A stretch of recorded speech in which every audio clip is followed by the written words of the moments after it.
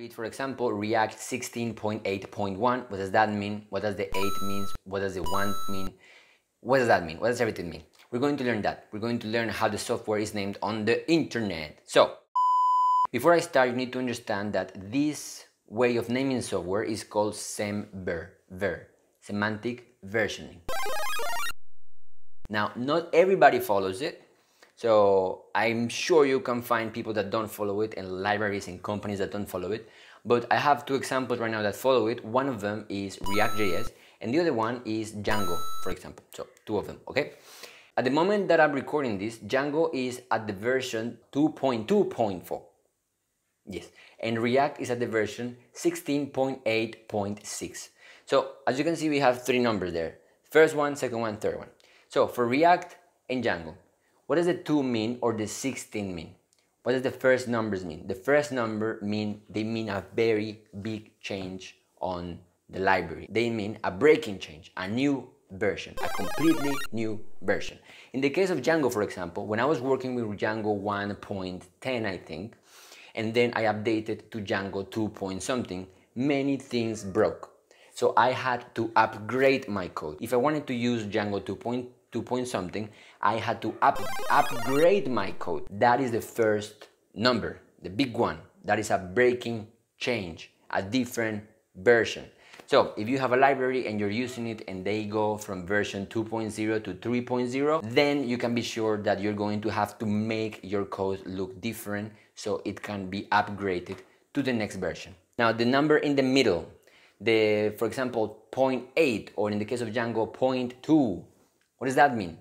That means an, a minor, minor, tiny release. We had React 16 and then hooks came and hooks was included in React 16.6 or 0.7, I don't remember. As you can see, they bumped the last number, 0.6 to 0.7.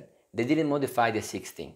This is a minor release. That just means that it's features that are new, new features, new ways of doing things, new awesome code to use, but they don't break your code.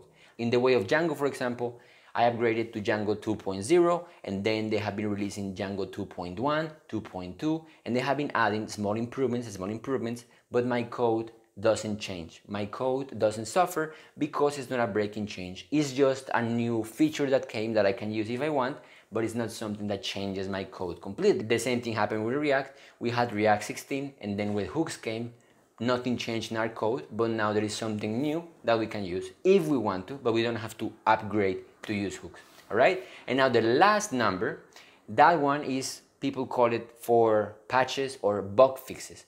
That is just literally for when there are bugs, they just increase that number to fix the bugs. But that shouldn't change your code whatsoever. It's not a new feature, it's just fixing bugs. So for example, Django has 2.2.4, so the 4 is they have been fixing bugs four times already. And on React, 16.8.6. That's it. They have been fixing bugs six times by now. You can go, I don't know, 1.1.25 if you are fixing bugs all the time and if you're finding new stuff. You can bump it as much as you want.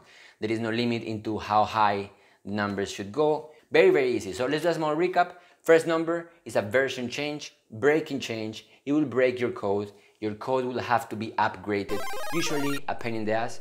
Second number is just a new feature that you can use if you want to. If you don't, you can stay like that, but your code shouldn't change. And the last number is just bug fixes and upgrades, patches and bug fixes, all right? Thank you for watching. I hope that you learned something on this video. I am loving doing newbie questions, so please send me more and more and more questions. Don't forget to be happy. Don't forget to leave a like and don't forget to eat kimchi. 拜拜诶拜拜。